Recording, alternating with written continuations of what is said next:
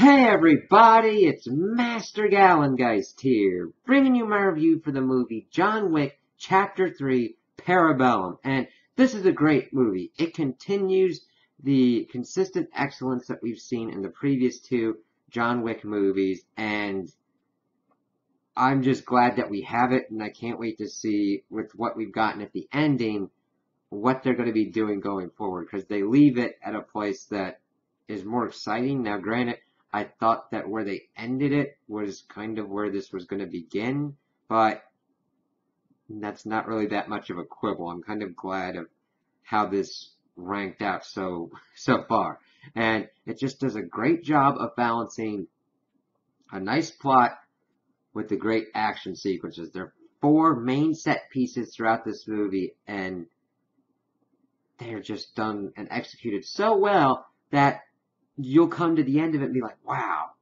it's just so well paced that it doesn't feel that you were dragging in any real kind of spots. So it starts off from the, uh, it begins at where we left off in the second movie. John Wick is about to be excommunicado. He's got an hour. He, once it hits 6 o'clock, he's deemed excommunicado, and he's open for business with the $14 million bounty on his head. So he's running around trying to figure out kind of what to do. And of course, we see everybody getting ready to go after him. We see one of the uh, King of the Bowery's men going, ah, tick tock, John, tick tock. And he pops up a little bit later, but we see John and the dog moving around through. He's trying to get to the New York Public Library, but of course it's all traffic jammed up. So he gets a cab. He pays them in a gold coin. And all right, take my dog to Continental. He gives him a nice kind of cool pat and makes it on his way. He gets there and he's able to get in through the building and figure out where he's to go to. He says a specific book, goes to it, and he evidently had this for in case of emergencies. He pulls out some gold coins. He pulls out this rosary with a crucifix on it that looks interesting, and then, of course, a marker similar to the one that he had to complete in the previous movie. So it's like, okay, he understands that he's got a lot to do, so he's going to have to use all of his cards. But of course, even before he becomes excommunicado, this big assassin guy comes after him, and we get this great fight scene in the library as he's like using the books to his advantage and trying to take on this really big dude, and he just fucking annihilates him at the end, using the book to like break his jaw and just break his neck. It was just crazy. But of course, he's really wounded, so he races off to a doctor that he can use before his time runs out. But of course, it's time runs out before he can get it completely finished. He's able to finish it himself. He gets some of the medicine, and of course, shoots the dude to make it look like okay, he stole this stuff from him when he became excommunicado. I was like, I like that. You see a lot of people still respect John Wick throughout this movie, and it's a small kind of thing, but it's a nice character thing this underworld, even though it's going after him, still has respect for him. So, he then gets kind of cornered by another group of assassins coming after him, and he races his way into this kind of safe house place, and we see him deconstructing this gun in order to use it, and only fires off one shot at this one dude to take him out, and then we move into a crazy ass knife fight that goes on. I mean, some guns are involved, but the main part in play are knives. And it's just fucking intense. Like, John getting kind of banged up, but him just like throwing knives at people. There's one dude having like so many knives in him as it just like, boom, as you hear the thump, and it's like, son of a bitch.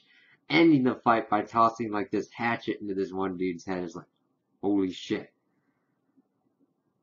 So he moves on into the next portion of it where he gets cornered by these other group of guys and he goes into this stable with all these horses. And this was just crazy and just showed how tactical John is. He started using the horses to kick in and kill people, kick in people's heads and kill them. It was just amazing. And also hard as hell to film and whatever CGI they used was very well used and done effectively because you really couldn't tell that it was like over CGI'd or whatnot. and even using like a horse's ass to take out this one dude as he then runs off on the horse. It was just nuts. I I did not expect him to use horses in that way, but I'm like, of course, it's John Wick. He will use his environment to his advantage, and mm-hmm. yes, crazy ass action to see. So we see that he goes to this kind of theater-esque place, and he holds up the rosary and with the cross on it.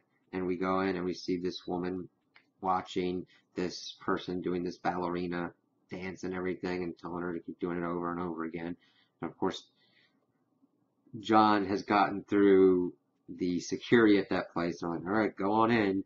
And he shows her that. We get a little bit more of John's backstory. Now, granted, it kind of went a little bit fast for his actual name, but evidently he's in a gypsy kind of thing where he was like an orphan and they took him in and helped him. And he's like, listen, I am owed this and it's your duty to come through with it, through with it and help me. But see, it's difficult because this director woman is also on the high table and she can't be seen completely break, breaking ranks with him. But as we see throughout this movie, John is not unreasonable in his requests on these parts. He is taken through and we see that all these young people pretty much want to get free from all these suffering uh, that they've had to endure earlier in life.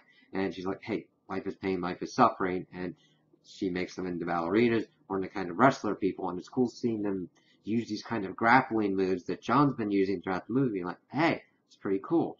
And she's like, all right, what do you want with this? He's like, I want to go to Casablanca. And you're thinking, that's kind of weird. But of course, she's like, all right, you pull this ticket, we're done. And he has her pull the ticket, take off the cross, and one of her people put it on the end of a poker, light it on fire, and of course burn the tattoo on the back on his back that we've seen the other people in this organization have had. And they lead him off, and we see that he's gone to Casablanca. In conjunction with this, we see this new kind of person pop in, the adjudicator, and she's from the high table and is investigating what's going on. First, she stops in at Winston's and sees D'Antonio's body and all that, and uh, dresses him down for letting John get away from killing D'Antonio and saying that he's got seven days to get his affairs in order. We also see that she goes to this other person named Zero and gets him to help her with everything that the High Table wants. And they then proceed to the King of the Bowery and, of course, hit him for giving John the gun with the seven bullets. And so, in penance, He's going to give, he's got seven days to give up his place, and he's going to get seven slashes. And we see Zero do the seven slash, and like, damn, doesn't look like he can come back from that. We shall see. So we then shift over, we see that John has made it to Casablanca. Some people are about to take him out, but we see that one person from their Continental is like, nope, the manager has given him amnesty, let him go. And one person tried to continue on with the fight, but this person shoots him, and I just liked. I would say that this is their concierge version, and I just liked how interesting he was. He didn't do much, didn't have many lines, but I liked the presence that he had. Okay, and they take him, take John in, and we see that this is a woman named Sophia, and she's got these two badass dogs, and this is Halle Berry's character, and she's pissed off that John's here and doing what he's doing. He brings out the marker, and evidently he helped her get her daughter out of the game. And that was what John's marker was for her. And she's like, don't do this for me. Don't do this to me, John. And like, listen, all I want you to do is get me to your old boss. And that's it. Nothing more, nothing to jeopardize your daughter. And she's like, fine, whatever. But after this, we're more than even and of course she sets up her dogs, gets them with like armor and everything, and they set off. They get to her previous boss, and we see them kind of hashing out kind of a little bit more background about the organization. He's like, hey, this was the first coin minted here. This was the first marker. Getting into the semantics of like the assassin order. It's not really overdone. It doesn't feel like it's overbearing or just like, oh God, we're listening to this. He's just kind of going into the history and talking about how rules and everything are are going forward. And John, of course, asks him if he can point him to the elder who sits above the table. So that way he can make amends. It's like, huh, this is interesting. And we're trying to figure out what John's motivations are for this. And it's like, okay, it's interesting that he wants to make amends. We're bringing up the whole thing of actions and consequences. And we see that the high table is really putting pressure on those under the table. So the high table really doesn't have much room to complain when other people are acting outside of their own enforced rules because they're the ones that benefit the most from. them. Of course, uh, Sophia's previous boss kind of gives some vague directions on how to get to him. He's like, all right, thank you. But, of course, the boss wants a gift, and he wants one of Sophia's dogs. She, of course, is like, no. And he's like, fine then, and shoots the dog. Now, of course, it hit the bulletproof vest, but, of course, we all know that people in this franchise do not take it kindly when you visit violence upon their pets. And then proceeds this great freaking shootout and everything as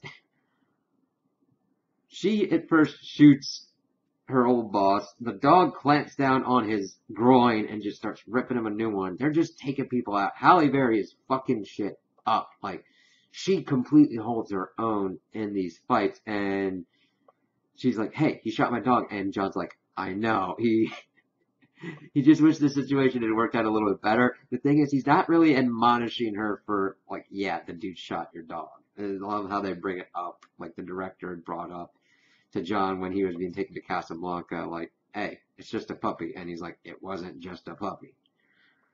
So they then have to get their way through this whole entire building, and it's just one great flowing set piece as we see the dogs just being tactical fucking firm missiles just taking shit out. Now, granted, Sophia is more of the main focus of this whole fight, and she really gets to shine here. I'm like, okay, what's John kind of doing? He pops up every so often, but it's her and the dog's just going crazy. And yeah, now granted, it is John Wick, but I didn't mind that she had her moments to just like take people out in the signature kind of styles of getting close and just fucking using all different kinds of forceful moves to get him into positions to just tap him in the head and be done with it. So they get out and they drive out. John, of course, shows that she has honored the marker and she's still kind of pissed off at him, takes the water, puts it in her mouth, swishes it, and spits it back and says, Good seeing you, John, kind of shit. And John walks off into the desert we see that he does eventually get picked up by the elder and he asks what you want to do here and make amends? And all right if you want to do that you have to pretty much give up your witness. And the thing is he wants to be alive to remember his wife. So he has to cut off his ring finger and present his wedding ring to the elder and then be of service to the table now, they made a big show of him taking the ring and putting it on his person. So they're definitely alluding to other things going on potentially in the future with this franchise. I'm like, yay. And his first order of business to serve is to go and kill Winston. It's like, oh geez. Of course, he recites the lines that Zero had, and he goes off. He gets back into New York, and he's getting set upon. But the thing is, Zero and his assassins who have been going out throughout the movie, and of course, wrangling everything up, getting the director to pay her blood penance, which was crazy, to the high table. And his group of people are pretty great. They have like ninja skills where they appear out of darkness and then just kind of disappear. I'm like, ooh, that's pretty cool. And we get Zero and John having their own kind of confrontation, getting ready to go after each other. And Zero is essentially just, granted, he is a an assassin in his own right, but he's a really big John Wick fanboy, and I really like that. And we see later on that his two kind of lieutenant people are also very, they're not on fanboy levels of obsessed, but they respect John as well. It's like, okay, really like seeing that through line. So it's really crazy because this group of kids kind of gets in their way and John just disappears and is able to get to the Continental, but Zero gets there as well. Well, they have a crazy ass chase sequence on motorcycles as John's just using this sword and guns to take him out, while Zero, of course, is still chasing him, and he's able to get on the Continental grounds. And the concierge there says that John's already there, so hmm, it's okay, you no business on the grounds. And they wait for Winston to call him in, and of course, he's in this crazy ass glass plate, glass portion of the Continental. It says this is where we conduct usual business, so that way we can see everybody's kind of hand. And he, of course, hands John a gun to say, hey, if you're here, I'd rather be taken out by a friend shooting me in the heart, pretty much, rather than what would usually happen. And John's like, nope, not here to kill you. It's like, oh, okay. And of course, the adjudicator comes in, and Winston's not going to give up his power. John's not going to kill Winston, and that sets off the chain of events where they bring in the third great set piece. And that's the high table putting in these tech geared motherfuckers. And it's just nuts. It's John and the concierge. Granted, there's some red shirts from the Continental also hammering in, but it's mainly to show the tactical effectiveness of the people that the high table sent in. Of course, the concierge tells John that here's like our armor and this better kind of bullets so they can go after. But in the first encounter, John and the concierge have a hard time taking these guys out because their armor is very effective. They can't really get through it. So John has to get, of course, again, tactical on how he does things. He's got to shoot them to get them into a point where they're disoriented and then like shoot them in the back of the neck or like right underneath or through the helmets that they have. It's just like crazy. Of course, John's like, this isn't working. Concierge is like, this isn't working. They go back into the vault that Winston and the dog are at, and they're like, they're both kind of pissed off right now. The concierge comes and takes off his coat, pulls down these shotguns that are uh, anti-armor, and they're just like, yep, let's get to work. And then we start into the next phase of this set piece, and it's chunky as fuck because we see John come in and blast the dude's head off with that shotgun. It's just crazy. And of course, the concierge gets his moments to shine as well. And I'm just like, yes, this is great. As they're moving and taking people out, of course, Zero comes in to effect as well towards the end of it. Like John has got this dude under the water and just takes him out. But Zero's popped up, and this is kind of where we get into the last phase. I consider this the fourth phase because it's a different kind of fight than what we've been set up to. We had the opening with the other assassins and the knife fight and the horses.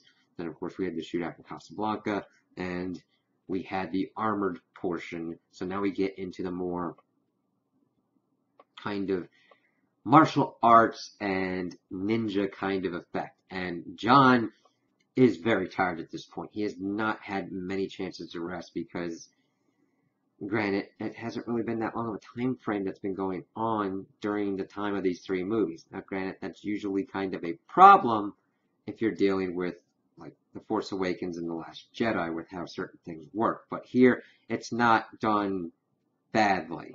We see that John has been just going through all these different trials and tribulations and kind of tired, but he's still able to take these people out he gets out the first couple of them, and then he gets into fighting the two lieutenants. And this was pretty cool because I think one of the one or both of them might have been from the Raid series, and they're just crazy. They knock John down once, but they offer him a hand up, and they're like, "Hey, nice to meet you." Very respectful, and they just go at each other, and it's nuts because they're using knives, but John then starts using his belt and just wrecking ass. And the great thing about it is he doesn't kill them. He says, be seeing you, and just kind of leaves them. He's got them into a position where they're knocked out. Then we get, of course, to the Zero fight. And it's just really kind of cool because Zero is like, we're the same. We're masters of death and everything. But he's so infatuated with John that it clouds his judgment and how to go about this fight. So even though John is exhausted and expended at this point, he still has the upper hand because he is looking at the situation of I need to take this dude out. And we see John disappearing and reappearing like the ninjas that have been a part of Zero's student un, uh, student units, and he's just able to eventually stab him through. And he's like, "Don't worry, I'll be back up in a minute." And John's like, "No, you won't," as he falls down. It's just a great end to a kind of crazy, interesting character. I'm like, all right. So at this point, every so often the adjudicator had been calling in and pretty much telling Winston you're screwed, but it's gotten to a point where she's like, all right, how about we parley? They go up top to the roof, and it's like, all right. Oh, this is why you did it to show your strength and power, because he's like, hey, you can take this, but this is New York. You're gonna keep it? She's like, oh, okay. Because they had deconsecrated the Continental's grounds to let business be conducted on. She's like, all right, we'll reconsecrate it. But uh, there's still the problem of Mr. Wick. And which is like, oh, all right, I'll take care of that. And he shoots John off the top of the building as he falls into the alleyway. And you're like, that's really kind of weird. You thought that they would have a better connection than that. But I think Winston has had more of a plan than usual. I think he had been chafing under the high table and that he had seen certain opportunities presented in here to get them into a better position of power. And I'm like, we will definitely have to see how that is because the adjudicator goes down and sees that John Wick's body isn't there. We see the Tick Tock man in the beginning of the movie has taken John and is being followed by his dog and takes him off and he dumps him down. and We see the king of the Bowery is still alive and he's pissed off. And John's like, I'm pissed off too. Setting up like, okay, they're going to war with the high table for real. And he's not just going to be by himself this time. He's going to have all the rest of the players who are like, we're tired of this and we're going to make our own rules. So I definitely want to see a John Wick 4, man. And I don't care when it comes out. Take your time and just make it awesome because that has such a great potential setup of all these disparate different people and coming together to fight the high table. But of course, you have to have John Wick in the center of that because he doesn't want this life. And he's kind of effectively trying to dismantle this crazy, well, he's not effectively trying to dismantle. That's not his goal, but he has introduced such an order of chaos that it's almost Game of Thrones just with the Iron Throne and all these people vying for power and it's just cool to see how this could go about because John could take out the current high table and set up these other people below the table to take the reins. Now, would they run it ever any differently? Would they let John go since he has been such a potential asset to them all this time? You never know. I'm, those are the great possibilities that I would like to see, and I hope that we see more news on the front of the TV show The Continental and anything else. This is such a rich world that had could have the potential to have such deep lore and awesome characters and awesome stories that I really want them to dive deeper and present some more kind of movies, open up the world to maybe some other kind of spin-offs with other characters or whatnot, and any kind of TV shows. Hell, you could go up to comic books. I mean, I know they've got a John Wick comic book, but like any kind of other media or whatnot. I I really like this this was a really well done movie, and it just has cemented the fact that it's a really great action film franchise that has a great plot and a great world around it. So those are my opinions on the movie. Tell me what you guys think in the comments below. If you liked it, if you didn't like it, if you agree with me, if you disagree with me. Also like and subscribe, and I hope you have a good day.